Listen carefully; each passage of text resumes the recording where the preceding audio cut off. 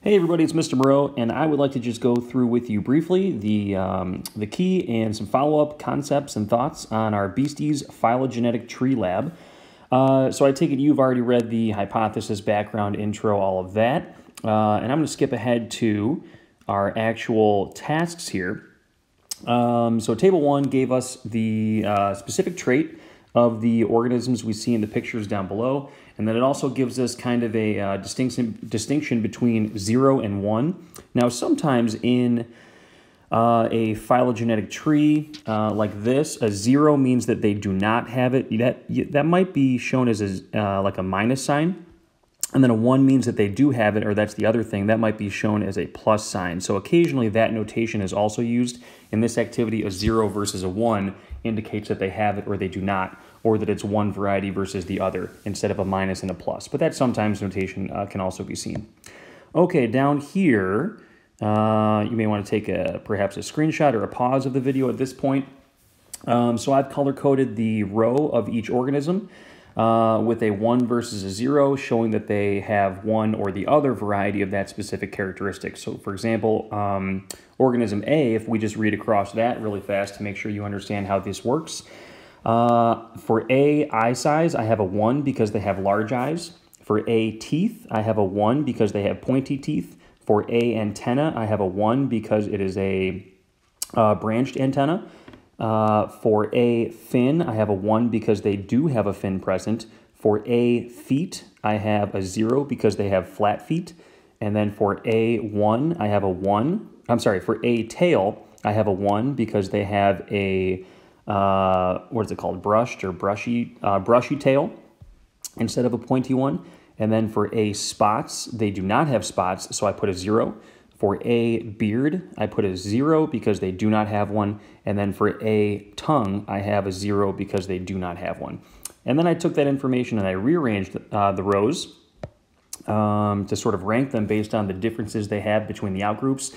And I went ahead and totaled those differences off to the right. Now, one thing that you might see here is that we have two different organisms that are sort of tied with the differences we see between them and the outgroup uh, and that would be letter F and letter B.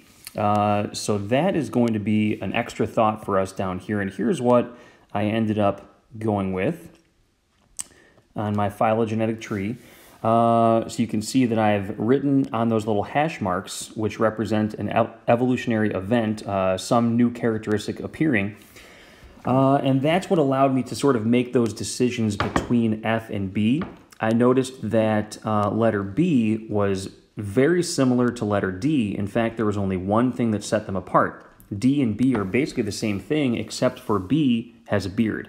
So those two definitely belong on those, uh, those clades originating from that very recent common ancestor, that node.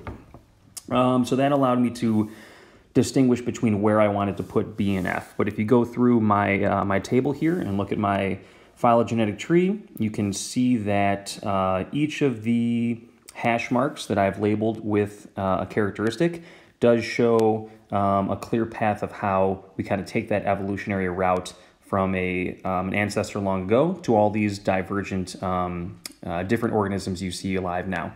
And then here's one little note I have. Fin and branched antenna, uh, those occur in between um, diverging, uh, like a divergent event between different common ancestors. So there's really no way for us to know if I should have put fin here and branched antenna there, or if it goes the other way. So we don't need to make that distinction or worry about that fact. We just simply don't have enough information to decide which of those may have occurred first. And that is our um, conclusion to our uh, phylogenetic tree. Here are my thoughts on these uh, final answers here. I think everything was probably pretty straightforward for you. You probably had to use your imagination a bit for letter B.